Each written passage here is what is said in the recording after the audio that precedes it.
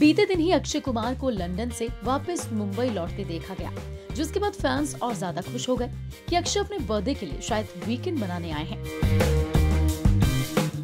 जिसके बाद वो कई प्रोजेक्ट्स की शूटिंग करेंगे, लेकिन ऐसा बिल्कुल भी नहीं है, क्योंकि अक्षय किसी वीकेंड पर नहीं, बल्कि हड़बड़ाहट में अपनी फ़िल्म की शूटिंग छोड़कर आए। वो भी अपनी माँ के लिए। दरअसल अक्षय कुमार की माँ अरुणा भाटिया इस समय मुंबई के हीरानंदी अस्पताल के आईसीयू में एडमिट है। अक्षय अपनी माँ के बेहद ही करीब और लाडले हैं, इसलिए जैसे ही उन्हें इस बारे में पता चला, वो तुरंत अपनी शूटिंग लंदन सब कुछ छोड़कर वापस आ गए।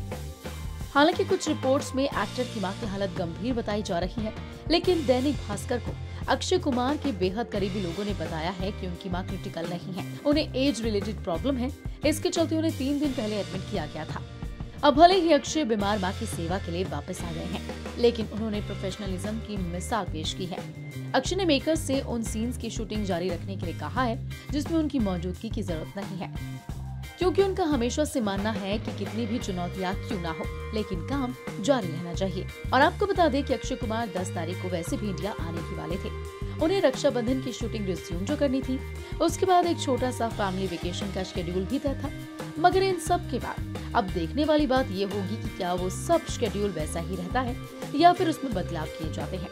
क्योंकि अक्षय कुमार के पास अगले साल तक करीब आधा दर्जन फ़िल्में पाइपलाइन में हैं। फ़िलहाल अक्की के पास नौ प्रोजेक्ट्स हैं, जिसमें से आठ तो फ़िल्में हैं और एक वेब सीरीज़ ये है बेल बॉटम जो हाल ही में रिलीज़ हुई है। Sooryavanshi Atrangi Re Prithviraj Bachchan Pandey Raksha Bandhan Ram Setu Oh My God two और वेब सीरीज़ दी एंड हम आशा करते हैं कि अक्षय की मदर जल्दी से जल्दी ठीक हो और फास्ट रिकवर हो, ताकि अक्षय के चेहरे पर जो परेशानी और मायूसी है, वो झट पर दूर हो जाए।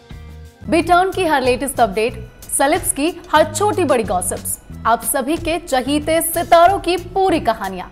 सब कुछ मिलेगा आपको हमारे चैनल इंडिया बॉलीवुड वायरल पर। जाने से पहले हमारे इस वीडियो को लाइक और शेयर ज़रूर करें। साथ ही हमारे चैनल इंडिया बॉलीवुड वायरल को सब्सक्राइब करना बिल्कुल ना भूलें।